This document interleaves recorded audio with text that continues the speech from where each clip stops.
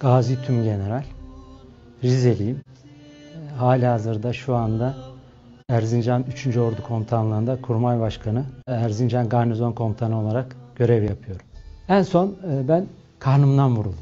Karnımdan vurulduktan sonra ciğer acısı nasıl olur biliyor musunuz? Ben orada hissettim. Artık ciğerim yanmaya başladı. Baktım öleceğim.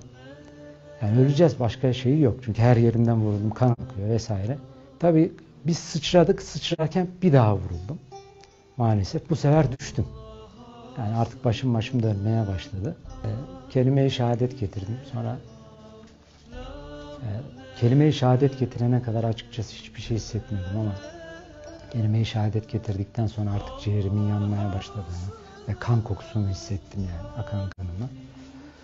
E, sonra vali yardımcımızı ve arkadaşlarımızı aradım. Dedim ki abi çocuklarım, evlatlarım dedim önce Allah'a sonra sana emanet ediyorum. Herhalde dedim. Ölüyorum, şehit oluyorum.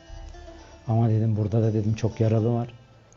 Lütfen dedim buraya ivedi takviye gönderin. Bilmiyorum sizin durumunuz nedir ama ambulans gönderin dedim.